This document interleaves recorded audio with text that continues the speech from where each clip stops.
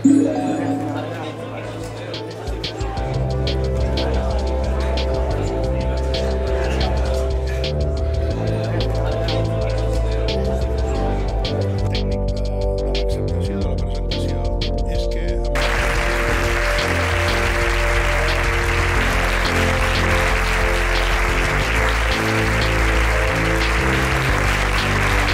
cal molt diàleg.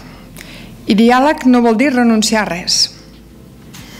Vol dir parlar, tenir la valentia de seure's en una taula i voler donar resposta a demandes, necessitats, reptes i projectes. I per això ens caldrà cercar consensos des de la generositat, per continuar avançant, perquè el món no s'atura i Catalunya vol ser-ne un protagonista proactiu. A mi m'agrada situar el departament com un actor de consens.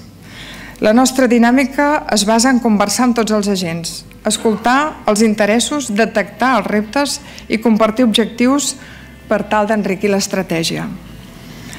Destaquem també la necessitat de promoure marcs estables. Sigui quin sigui el govern, el color polític del govern de la Generalitat, hi ha d'haver marcs estables en aquells àmbits que considerem essencials per la nostra societat.